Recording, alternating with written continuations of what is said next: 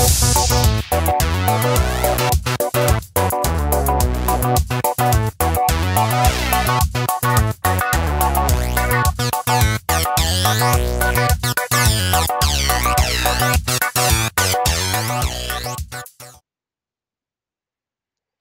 everybody, how's it going? It's uh, Slappy McPhee, and this time around we're going to be doing a preview series with the Pine Rock Pro 64 board and our uh, beta build. And with us today we have Neon, Hello. Steven, Hello. and Cubert. Hey, Hey, Cubert, we're going to go ahead and kind of just run through some of these features quick and like some of the issues we already know, and then we'll dive in uh, here on the screen capture. This one um, has got a full mate desktop accessible from the ES system selection. We, we created a custom selection for it. We're doing kind of like a mixed mode this time around where uh, we've got SDL 1.2 emulators and ports launching via Exanet from within standard ES. Launch and exit videos are working, BGM is working, and uh, we've got some newly working emulators for the Rock Pro 64. Standalone Atari 800, Advanced MAME 1.4, Advanced MAME 3.9, Advanced MESS 3.9. And when we say that some of these are new, right, they're actually new in, our- in our beta compared to the alpha stage that we were at uh, Daphne, XROAR, Quasi 88, XM7, Jave, uh, Intel, uh, Intellivision, SDL TRS, LinApple GS Plus, TI 99. So there's a bunch of stuff that we've actually been able to get working here just in the last few weeks. Um, made a lot of breakthroughs. Um, some of the issues we do have is that Amiberry uh, right now will not compile. Um, the Amiberry dev is is working on that. Mupen64Plus, Glide N 64 segmentation faults. Split Wolf, we have a bus error. Uh, LR MAME, LR MESS, LR MAME 2016. I'm not sure if they're actually good to go in the last few weeks, but they were noted as uh, failing to compile. We were having some other issues with N64 emulators. Uh, the non-lib retro, so in other words, the standalone Reicast is not working. Um, so we've got a bunch of different things going on here that we're still trying to work through. But uh, oh, uh, the NDS Drastic is still being worked on by the developer. Uh, one of the recent new things is that uh, we got Saturn to start working. So you know we're we're constantly working on this stuff and trying to get things debugged and figured out. But we wanted to go ahead and put together a preview video to kind of show how things are going, especially with the pending release of the Roshambo case for the board um, which I have done a video on recently on uh, initial unboxing and assembly, which we'll have a card for here if somebody wants to go and check that out. But uh, Cubert, let's go ahead and start by going into the desktop quick and just kind of showing that. Launch a browser window, get into to YouTube, and you guys have anything to say about how well the desktop performs? Uh, I haven't really messed around with it too much yet. Oh, okay. Uh, yeah. How about you, Steven? Um, I haven't had a chance to use too much of it, but it's the power of the board itself makes it quite usable. That's good to Oh. hear. sorry, I didn't mean to interrupt. I was really impressed how snappy it is. I mean, that's that's totally usable. I mean, look at this. Like just for your browsing needs, you know, look at this.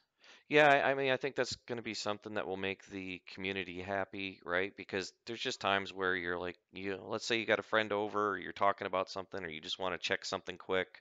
You don't want to have to have a dedicated PC. You can hop into the desktop and, you know, fiddle about, go to YouTube or go Google search something or whatever. Well, yeah, as I was saying, great way to have like walkthroughs or something. Yeah, that's another good point as well, for sure. Sees my network. It even it even mounted my uh, retro arena drive, as you can see here, so I could like copy ROMs over if I needed to. So like if I wanted to put a USB drive in there, I could c- drag and drop ROMs onto my external as well. So it's pretty neat. Yeah, that's so like actually a really good ROM point, here right? and then drag this down here. Yeah. So like if you have an external, now that we have this Mate desktop, we can actually just download from whichever you know your Motion Blue sites or whatever whatever you want. You download whatever you get and just it'll download to the SD card by default, or you can set it to download to the direct direct spot. I mean, you Yeah. don't even have to worry about file systems now. Yeah, that's definitely going to give people another avenue. So that's definitely good stuff for sure. All right, yeah, let's go ahead and flip back out of the desktop then, and I'll let you take the reins on uh, some stuff that you might want to uh, show off uh, working here, Cubert. Um, let's do some Saturn. A lot of additions to Saturn. Saturn's been running really awesome. It's it's great on the N2. It's uh really good on the Rock Pro 64 as well. Um, some games will run at 4x with zero frame skip, which is pretty cool. Um, other other games like uh, Sega Rally Championship, give that a try at um, 2x with frame skip. I think we can get full speed on it. Hold on, let's try that. Yeah, so I know that we've tried to take a look at uh, was it Astal or Astal? At- Um, at stall, yeah, with the black screen where it just sits there. Yeah. yeah, doesn't we work. haven't been able to really figure that one out yet because according to the compatibility page for the emulator, maybe it's a typo, but it's saying that it's supposed to be fairly playable. Um, so it was we'll be playable confusing, but- originally. Okay. It's it was originally playable yeah well it stopped it stopped after the the original before we were the raw or thera or whatever the hell we are now. I can't remember how we pronounce it. But uh yeah so yeah that was before but look how nice this runs. Oh my gosh. So yeah Astal's been broken for a while. Championship. this is at 2x right now uh, with frame skip. And I'm not going to put the frame display up there because if you don't see that, you're not going to know that it's even dropping frames if it does.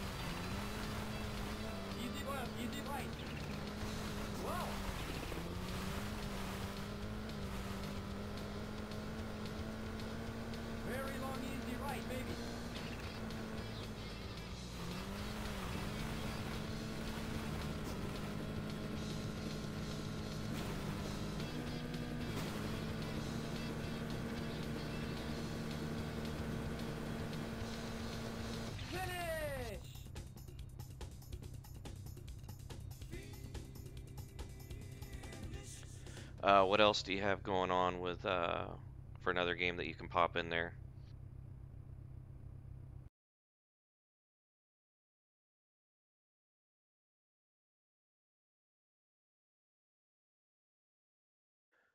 The What's big it thing for me has been being able to play PSP with higher resolutions and everything, Right. and being able to play Super Nintendo with better uh, filters on it.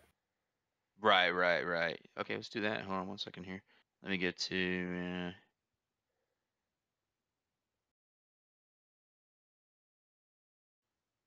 Uh... So let's go ahead and go to um, something like. Can we go to Outrun? Um,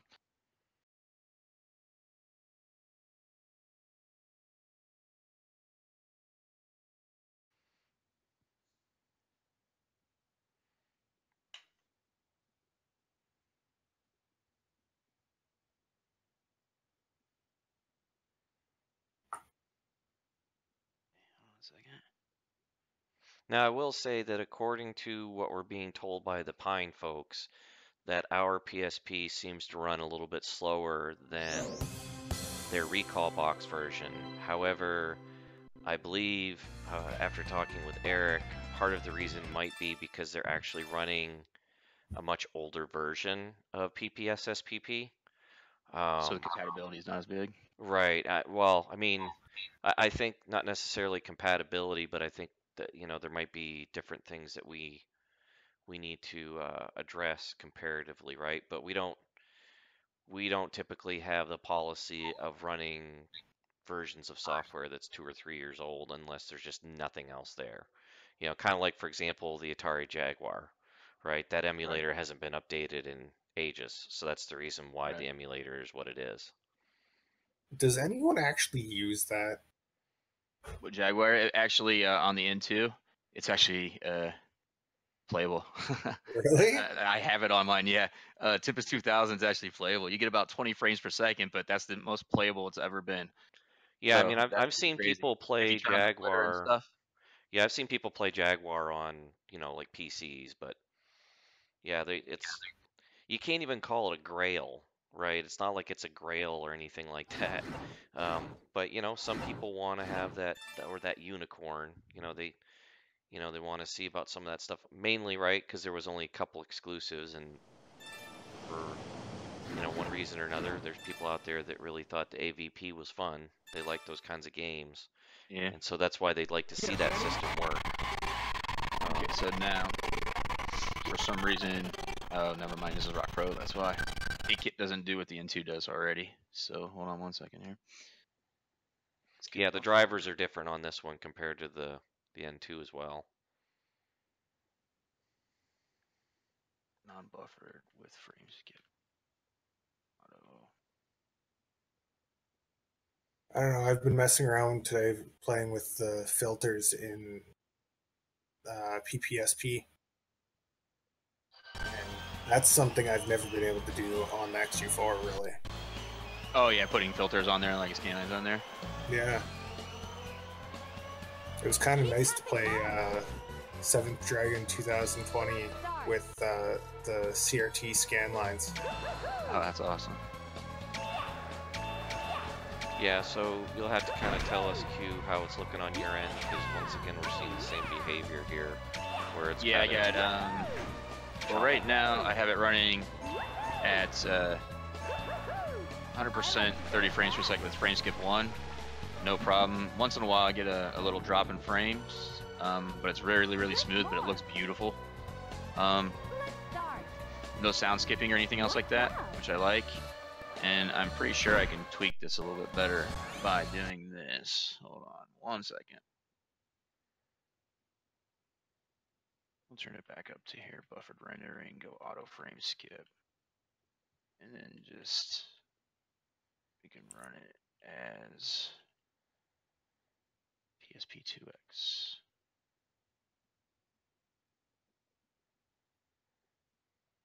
Mode buffer.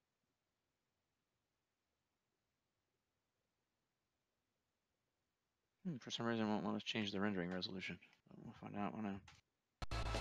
I think it's because you have auto frames. Yeah, auto scan. Yeah. So, but as you can see, it's uh, looks pretty ugly that way. So let's go back to what we were.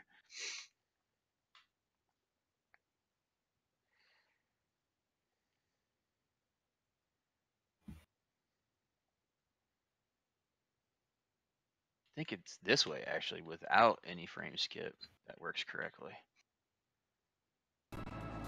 Yep, there you go. 60 60. Nope. Nope, just 30, yeah. So yeah. See like on the N2 it goes 60 60 with that setting. Um, but once again that's not what we're doing a video. of, So.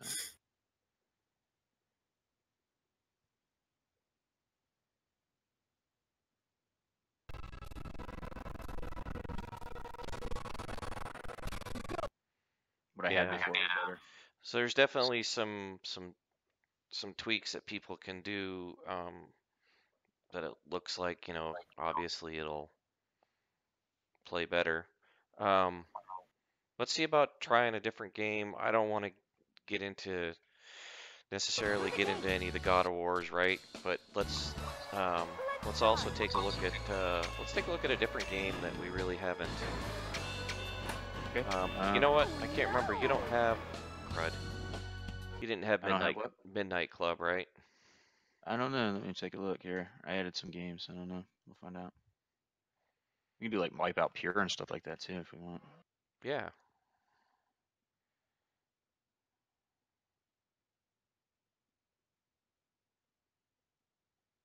Yeah, I don't have Midnight Club, but um, what was the one I just said I was gonna do? Wipeout. Wipeout. Yeah.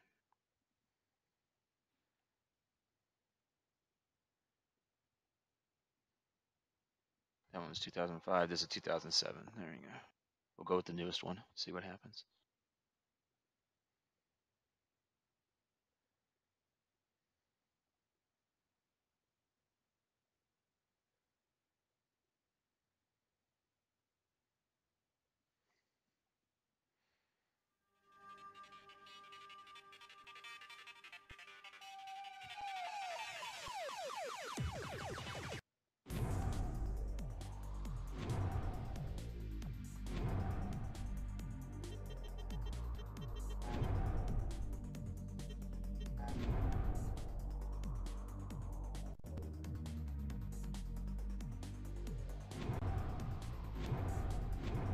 Asagari. So while this is loading, yeah, I mean, have we been able to really do any testing with N64? Not too much. Uh, we can check it right now. Because I think we, I mean, So this definitely has to have a config. So That's kind of the uh, weak point still. yeah, because it, you know, I mean, it looks like most of the, well, we know that LR Moop into 64 doesn't compile, but um, I don't know about how well the standalone or if we even have parallel going in this. Standalone's the problem. Standalone is the one that has seg faults, and it looks like it's possibly a driver issue. Okay. Well, I know here, according well, according to um, the issues list that Eric has here, he said the LR Mupen64Plus. Well, that's that's the NX fails to compile. Yeah, but the non-NX one is just kind of slow. Did uh, have we been able to I- try parallel? I Uh, tried a different plugin for uh, uh, standalone hmm Mupen, and uh, it it works, but it's uh, pretty slow.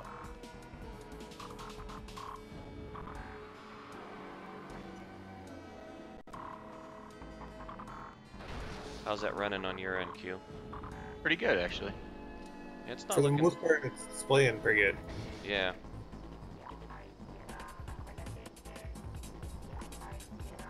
It's playable if if, if anybody's ever done testing with PSP um, and Wipeout. If you don't have the right kind of frame rate, you can't play it at all. So it's playable. It's very playable. I can control it. That's what I'm saying. It's easy to control. Or Right. Where the he's hell's just responding. It's not skipping frames. Um, uh, I think I'm on a time trial right now. Oh.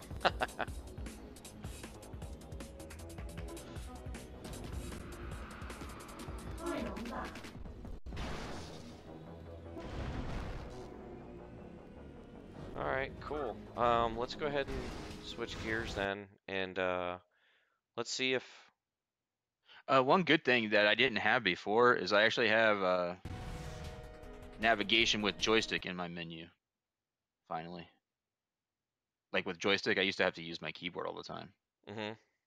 Oh, okay. Uh, now it actually works inside the. See, we can go wherever. Ah, gotcha. With the controller. Exactly. Yeah. Um, have you guys had the opportunity to take a look at um, Atomiswave and Naomi? Yeah, th- those work. Yeah, they work pretty good. You want to go? Um, oh, one that I noticed that is working that um used to be slow, still has a little slowdown, but wasn't playable. And believe it or not, it's a game that you wouldn't think it is on the Atomiswave, and it's a lot of fun. And you guys will probably make fun of me for it, but it's the Sushi Bar. Okay. Sushi Bar. I couldn't figure Um, it's like Tetris, it. so you guys will make fun of me because I suck at it. So, believe it or not, this game actually uh, kind of uh, brings the XU4 to a crawl for a couple uh, at, when it gets kind of intense. And uh, the N2 runs it perfectly fine. Um, this is actually running it finally. It wasn't before on our other alphas. hmm So it's a lot of fun actually. It's quick and easy. It's uh, just a battle game like Tetris, but uh, you use sushi and you just have to match four in any direction.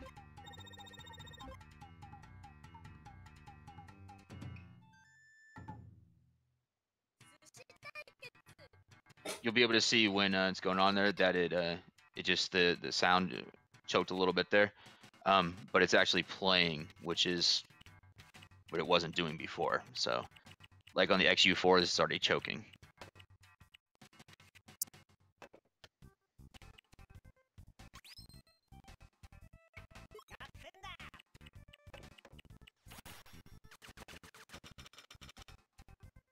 I'm better at this than Tetris, I guess. Or at least Pokemon Tetris.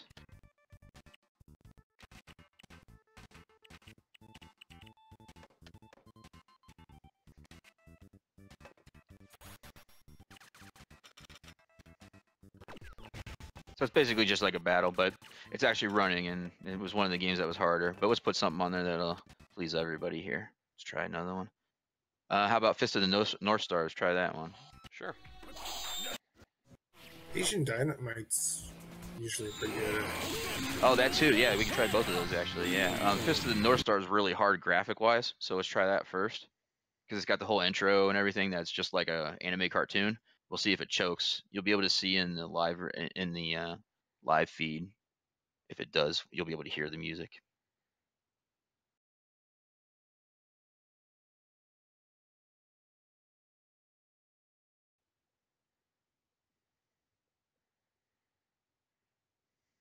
I really like the presentation on this game. I don't like fighting games that much, but because of the presentation, I like to play this game.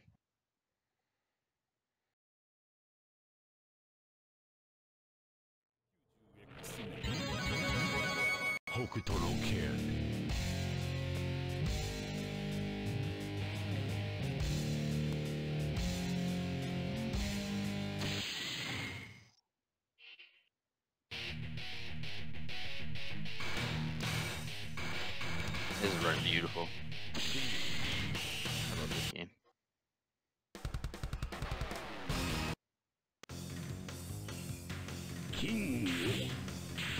Yeah, I was gonna say, I think doesn't this kind of run a bit slow on the XU4?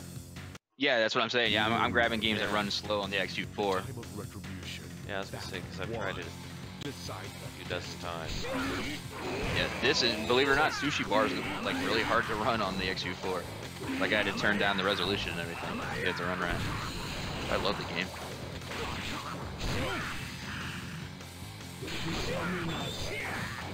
No, yeah, this is running good, but let's do Asian Dynamite here.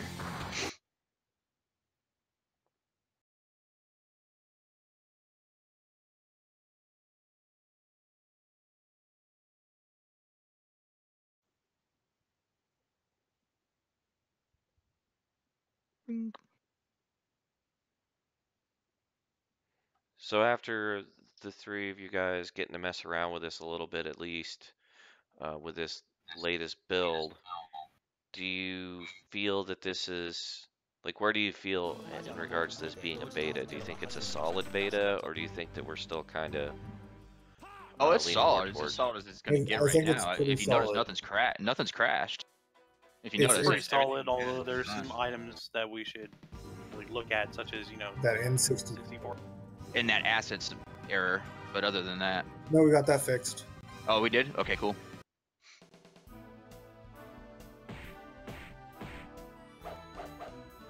Yes, my assets folder became part of the build.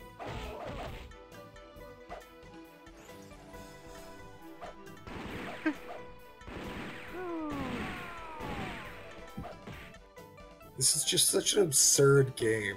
I know it's so much fun. So yeah, what's the whole premise with this? It's just a It, One it's on like Die Hard? Arcade, basically. oh okay. Die Hard Arcade or is is basically it, but um, but no, this is. I, I think they. I, I'm gonna look it up on the Sega here. I'm gonna bring it up here in a second. Just for my curiosity, a second. But it's it's playing pretty well for you, Q. Oh, it's 100%.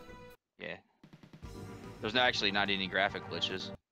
I do like the Rock Pro 64's um, the VGA looks. I mean, I mean the uh, HDMI looked nice on it. Like the colors and everything look better than like the XU4 colors. I agree.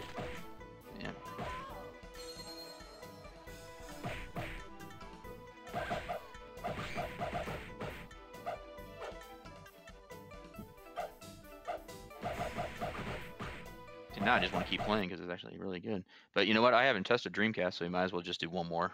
Sure. All right. Yeah. So Yeah, we'll go ahead and do that then, and then uh, And then we'll let it go. And now we'll it just do the looks same like then thing that on the it's using the um, the LR core, Right. and I mean, uh, also there's been some recent news as well that the LR core and the standalone are merging anyway. So Right.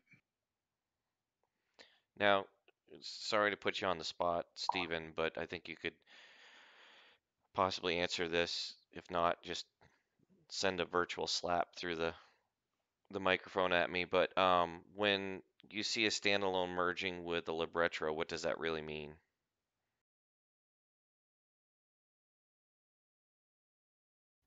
as a project or like uh, just they're making a version for Libra.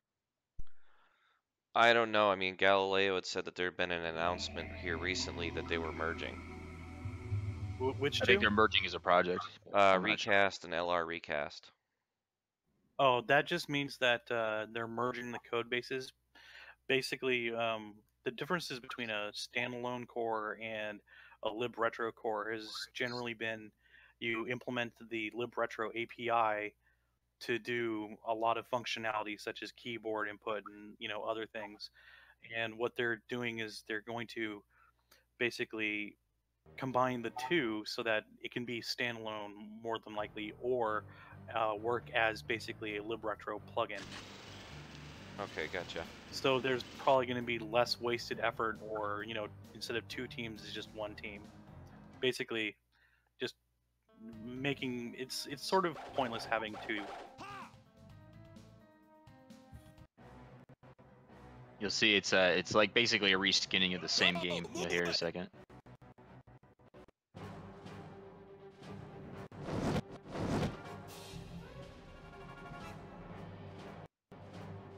I like the I prefer this one over the uh like all all the funny hats and silly hats and everything are here and everything. But this is running perfect. And the VGA looks so good on the. I, I'm. I keep saying VGA. Listen to me. Well, it's retro, man. You're just straight yeah, I retro, guess, man. uh, yeah.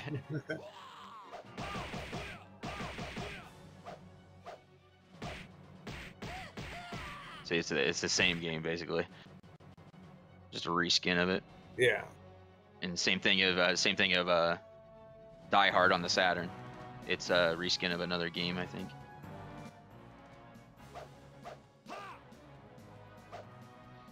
Yeah, I think that this one like- is more visually appealing. Um, That's what I'm saying. Yeah, it's uh, it doesn't look like this good. It doesn't look this good on the XU4. I'll give it that. It does not look this good.